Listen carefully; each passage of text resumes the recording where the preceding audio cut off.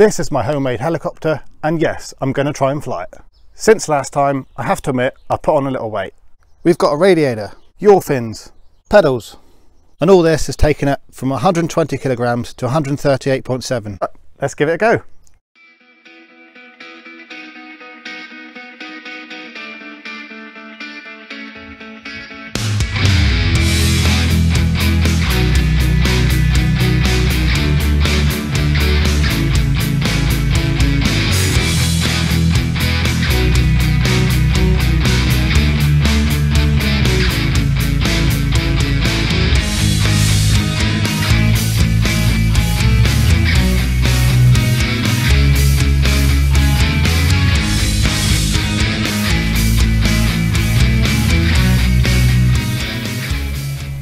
There's only two machines that I know of that have flown with this type of drive.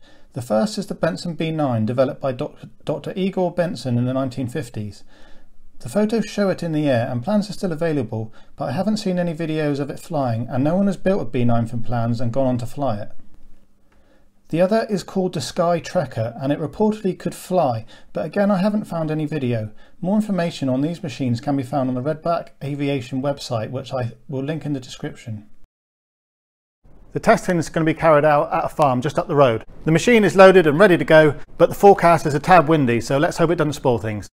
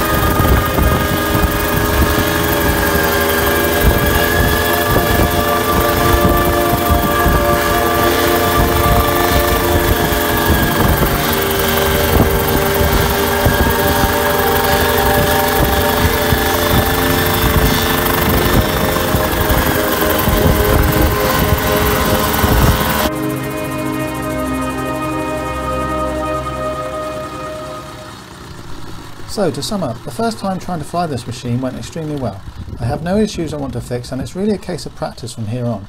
You might not be able to tell in the video, but the helicopter is tethered with wire rope and ground anchors about a foot long, but it still gave plenty of space to get a feeling for the controls. I can tell you, playing around with this sort of thing is seriously fun to say the least, and pretty terrifying as well. But with practice, I'm confident I'll be able to make the transition from tether to free flight. Thanks for watching.